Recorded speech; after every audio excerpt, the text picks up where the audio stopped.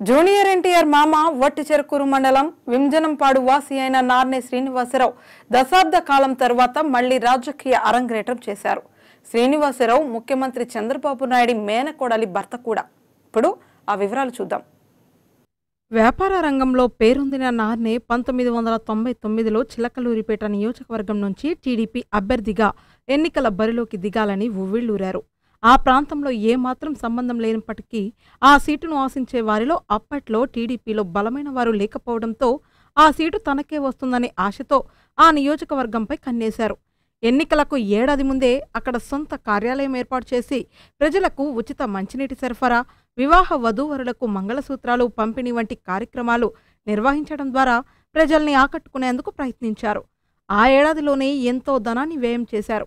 Party శ్రేణులు కూడా ఆయనకే టికెట్ వస్తుందని ఊహించారు.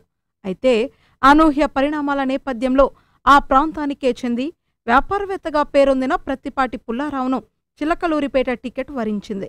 పుల్లారావుకి టికెట్ ఇచ్చిన మరుక్షణమే శ్రీనివాసరావు తన పార్టీ కార్యాలయాన్ని మూసేసి వెళ్ళిపోయారు టికెట్ ఇవ్వలేదనే అసంతృప్తితో అప్పటి నుంచి టీడీపీకి దూరంగా ఉండిపోయారు. ఆనాటి నుంచి ఈనాటి వరకు జిల్లాలో రాజకీయంగా ఆయన ఉనికి కనుమరుగైపోయింది. జూనియర్ ఎన్టీఆర్ను అల్లుడు చేసుకోవడం ద్వారా మళ్ళీ తెరపైకి నందమూరి హరికృష్ణ తనయుడు జూనియర్ ఎన్టీఆర్కు తన కుమార్తెను ఇచ్చి వివాహం చేయడం ద్వారా మళ్ళీ ఆయన వార్తల్లో ప్రముఖంగా నిలిచారు. జూనియర్ ఎన్టీఆర్ అల్లుడవడంతో నాన్నే స్వగ్రామమైన వింజనంపాడులో సంబరాలు చేసుకున్నారు. జూనియర్ ఎన్టీఆర్ మన జిల్లా అల్లుడే అంటూ మురిసిపోయారు. తదనంతర పరిణామాల మూలంగా జూనియర్ ఎన్టీఆర్ కూడా టీడీపీకి దూరంగా ఉంటున్నారు. ఈ నేపథ్యంలో నాన్నే శ్రీనివాసరావు హఠాత్తుగా వైసీపీలో చేరడం పైగా జిల్లాలో ఏదైనా నియోజకవర్గం నుంచి పోటీ చేయాలని ఆశిస్తున్నట్లు వార్తలు వెలువడడంతో జిల్లాలో వైసీపీ సీటును ఆశిస్తూ బరిలో ఉన్న నేతల్లో వణుకు మొదలైంది. ఇతనెవర్రా బాబు? తుపాన్లా హఠాత్తుగా వచ్చాడు. ఎవరి సీటుకు ఎసరు పెడతాడో అని ఆందోళన చెందుతున్నారు. ఇప్పటికే పన్నెండు నియోజకవర్గాలలో కొత్త వారిని తెరపైకి తెచ్చి ఇప్పటి వరకు పార్టీకి సేవ చేసిన వారిని పక్కకు నెట్టేసిన సంఘటనలు అనేకమున్న విషయం తెలిసిందే.